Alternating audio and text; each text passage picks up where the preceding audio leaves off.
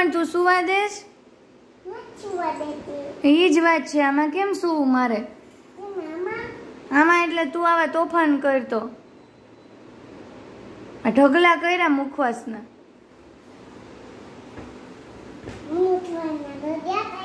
કોઈ કરે આવું? ભર હવે. લે લે લે ખુશી હું ખીજાય શું હવે? આમ જોતો એ ઢોળો છે ઈ?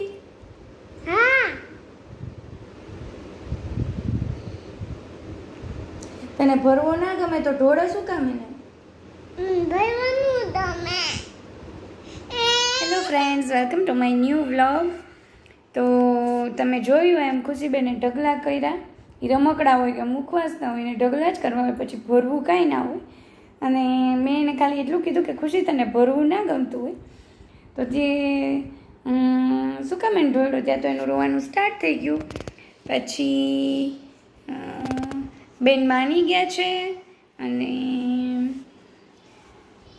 મેં એને હવે કીધું છે કે ખુશી હું તારા માટે છે ને બ્રશ ને ટૂથપેસ્ટ લઈ આવીશ. તો હવે સાંજો એને લઈ આવી દેવા પડશે બતાવ શું છે?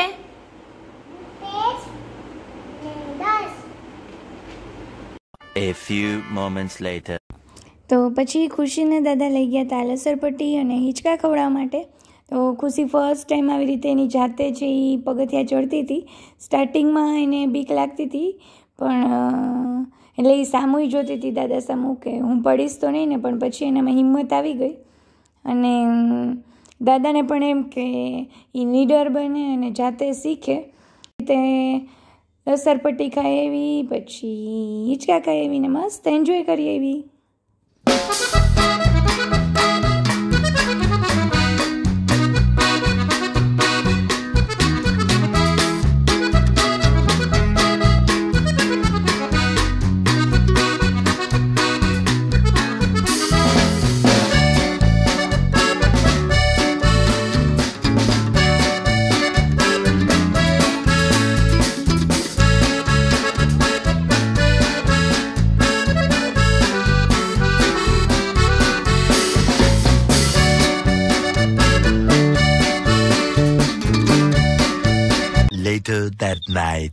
તો રાત્રે ડિનર માટે ઠંડા બે રોટલા હતા. તો મને એવો વિચાર એવો કે એ બે રોટલામાંથી હું સ્વીટ ચૂરમું બનાવું અને થોડાકનું બનાવું છાશવાળો રોટલો. મતલબ આ છાશવાળો રોટલો તો લોકો હોટલમાંય મંગાવીને ખાય છે અને ઇવન અમે પણ જ્યારે પણ અહીંયા જુનાગઢ ગામથી હોટલમાં જઈએ ત્યારે છાશવાળો રોટલો તો મંગાવીએ જ વઘારેલો અને એ મને બહુ ભાવે. તો પહેલાં હું બનાવતી હતી ગોળવાળું ચૂરમું. આઈ થિંક દાલ બાટી અને ચૂરમા સાથે છે એ આ ચૂરમું ખાય છે. તો સૌથી પહેલાં હું બનાવતી હતી ગોળવાળું ચૂરમું, તો એના માટે મેં એકદમ સાવ બારીક ઝીણો ભૂકો કરી લીધો રોટલાનો. અને પછી એક બાઉલ લઈ લીધું અને એ બાઉલમાં મેં પહેલાં ગોળ એડ કરી દીધો અને દોઢથી બે ચમચી મેં જેટલો ગોળ એડ કર્યો હતો. અને પછી એમાં એડ કરી દીધું હતું ઘી અને બંને એકદમ સરસ રીતે મિક્સ થઈ ગયું. એકદમ કડક ચાસણી, મતલબ પાઈ જેવું નહીં ગોળ ઘીની. પણ સરસ રીતે મિક્સ થઈ ગયું. પછી મેં એમાં એડ કરી દીધો આ એકદમ રોટલાનો જૂનો ભૂકો. અને ટ્રેજડી વગર તો કોઈ કામ થતું જ નથી. ભૂકો એડ કર્યા પછી એવું લાગ્યું કે રોટલાના ભૂકાના પ્રમાણમાં ગોળ ઘી છે, એ વધી ગયા છે. તો મેં ફરી પાછો ફટાફટ થોડોક રોટલાનો ભૂકો છે, એ એડ કરી દીધો. પણ ફાઇનલી છે, એ સક્સેસફુલી ગોળનું ચૂરમું છે, એ બની ગયું. હવે મારે વઘારવો તો આપણે જે વાત કરી કે ફેમસ જોકે આમ તો ચૂરમું પણ ફેમસ જ છે. પણ મને આ ગામઠીનું બહુ જ ભાવે છે. તો ફેમસ વઘારેલો છાશવાળો રોટલો. તો એના માટે મેં એકદમ ઝીણા, ઝીણો ભૂકો નહીં, પણ એવા કટકા કે જેને આપણે એમ બાઇટમાં મોઢામાં વ્યવસ્થિત આપણે ચમચીમાં લઈને ખાઈ શકીએ. તો એટલા માપસરના કટકા કરી લીધા, ડુંગળી સમારેલીને તૈયાર થઈ ગઈ હતી. મતલબ મમ્મીએ મને ડુંગળી સમારી દીધી હતી અને લસણય ફોલી દીધું હતું. તો હવે હું ડિરેક્ટલી બનાવતી હતી એની ચટણી. તો એમાં મેં પહેલાં થોડુંક એડ કરી દીધું હતું, નિમક ધાણા જીરું અને લાલ મરચું પાવડર પણ ચટણી ખાંડતા પહેલાં મને વિચાર આવ્યો કે ચટણી ખાંડું ત્યાં સુધીમાં તેલ પણ ગરમ થઈ જાય. તો મેં સાઈડમાં પેરેલલમાં તેલ ગરમ થવા પણ મૂકી દીધું અને ત્યાં સુધીમાં ચટણી પણ ખંડાઈ ગઈ. પછી એમાં એડ કરી દીધો તો થોડોક લીમડો અને હવે તેલ છે એ હજી ગરમ એકદમ નહોતું થયું. ત્યાં સુધીમાં તો મારી ચટણી પણ થઈ ગઈ હતી રેડી અને તેલ ગરમ થયું એટલે પછી મેં રાઈ અને થોડુંક જીરું એ બેયનો મૂકી દીધો વઘાર અને એકદમ આમ સરસ પટક પટક પટક અવાજને તતડી ગઈ રાય. એટલે પછી મેં એમાં એડ કરી દીધું હિંગ ને હળદર પાવડર અને એ બધું એડ કરી દીધા પછી મેં એડ કરી લસણની ચટણી અને આ બધી વસ્તુ મિક્સ કરી દીધી. પછી એડ કરી દીધી ડુંગળી. તો આવી રીતે બધું મિક્સ કરી અને પછી એમાં બીજો બધો મસાલો થોડી હળદર, ચટણી, ધાણા જીરું, નિમક, આ બધી વસ્તુ એડ કરી દીધી અને ડુંગળી આમ સરસ ચડી ગઈ. એવું મને લાગ્યું કે હવે સરસ રીતે ચડી ગઈ છે. પછી મેં એમાં ફાઇનલી એડ કરી દીધી હતી છાશ.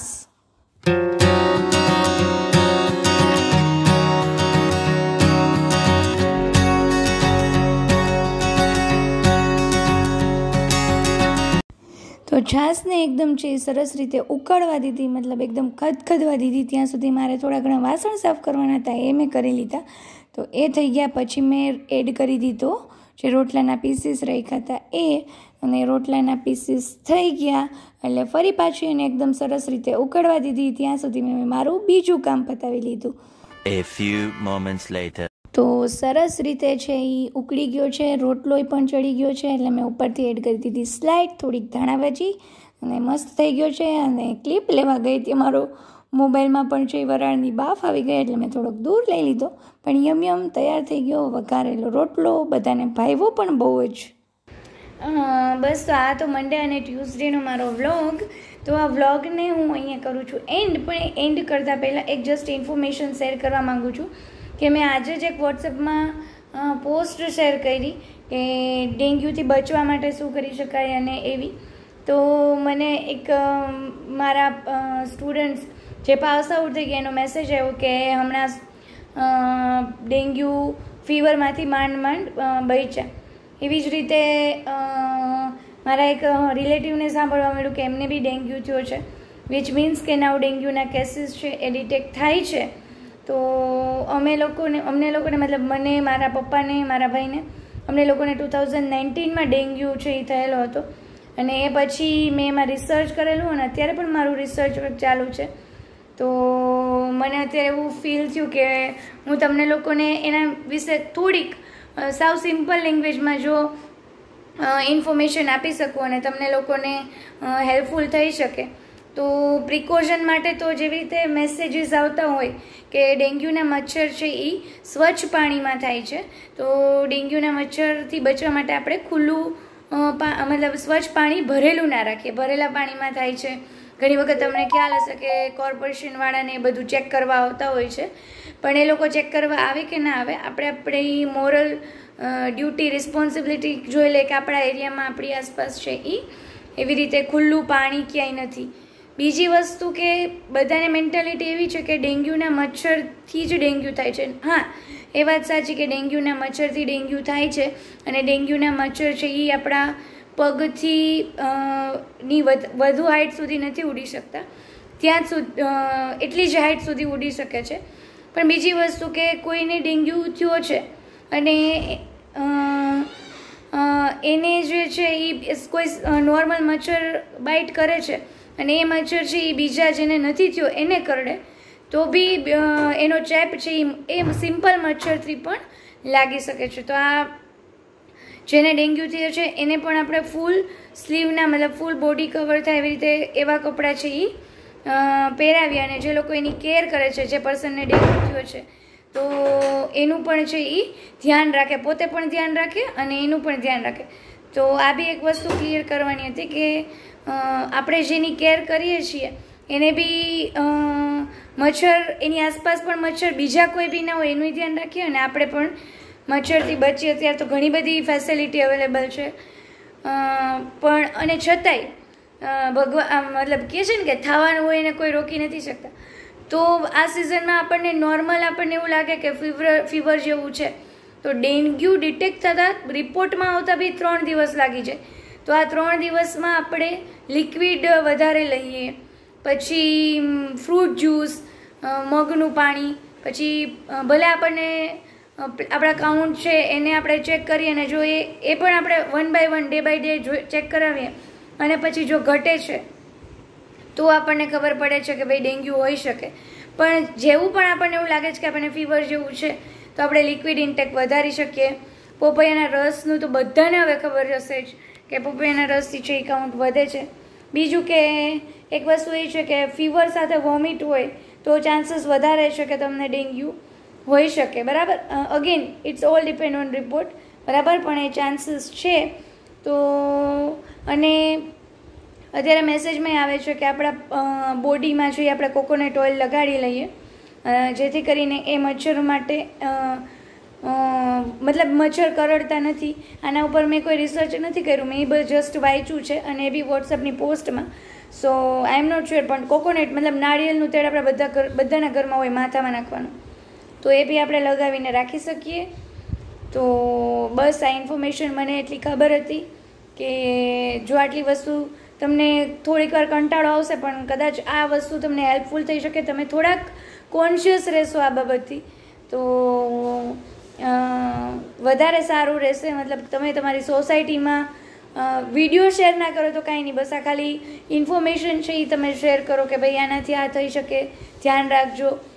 તમારા સોસાયટીમાં તમારી આસપાસ કોઈને થયું હોય તો એને કહી શકો કે ભાઈ તમે જે ધ્યાન રાખો છો એ લોકોનું, બરાબર? તો તમે પણ ફૂલ સ્લીવના કપડાં અને તમને બી આજુબાજુ ઘરમાં ક્યાંય મચ્છર નથી, એનું ધ્યાન રાખો. અરે બાપરે. ના બેટા, તારા કપડાની વાત નથી કરતી. હું એમ કહેતી હતી કે મચ્છર ન કરડે એનું ધ્યાન રાખજો. ફૂલ લેંગી પહેરવાની અને ફૂલ સ્લીવના કપડાં પહેરવાના. અને મમ્મા કે કપડાં પહેરી લેવાના. એવું કહેતી હતી. તો બસ, આ થોડીક ભલે તમને બોરિંગ લાગ્યું હોય અથવા તો તમને જો ઇન્ફોર્મેટિવ લાગ્યું હોય તો પ્લીઝ કમેન્ટ કરીને મને જરૂર જણાવજો. તો હું આ વ્લોગને હવે કરી દઉં છું અહીંયા એન્ડ તો મને એવું થયું કે મારી પાસે આટલું નોલેજ છે તો જે કન્ટિન્યુઅસલી મારા વિડીયોઝ જોવે છે એને કંઈક હેલ્પફુલ થાય. કેમ કે બસ જો તમને ખબર હોય તો હું વધારે નથી બોલવા માંગતી. જો તમને ઇન્ફોર્મેશનની ખબર હોય તો સોરી ના ખબર હોય તો તમને કામ લાગશે અને વ્લોગને કરી દઉં છું ફટાફટ હવે અહીંયા એન્ડ તો પ્લીઝ પ્લીઝ પ્લીઝ પ્લીઝ વિડીયોને શેર કરો લાઈક કરો કમેન્ટ કરો અને ચેનલને સબસ્ક્રાઈબ ના કરી હોય તો કરી દો બાય બાય કહી દો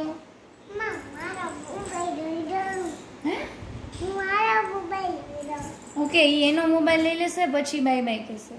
ચલો કહી દો બાય બાય હવે.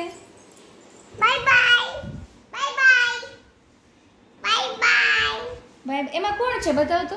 મમ્મી પપ્પા જો. જો ફ્રેન્ડ્સને બતાવો ને બધાને. મમ્મી ને પપ્પા. જો જો મમ્મી પપ્પા. પપ્પાએ કેવા કલરનું પહેર્યું? ઓરેન્જ પપ્પાએ. પપ્પાએ વ્હાઈટ પહેર્યું. હમ. Mummy mummy? ઓરેન્જ પહેર્યું છે. ઓકે બાય ગુડ નાઇટ કહી દે.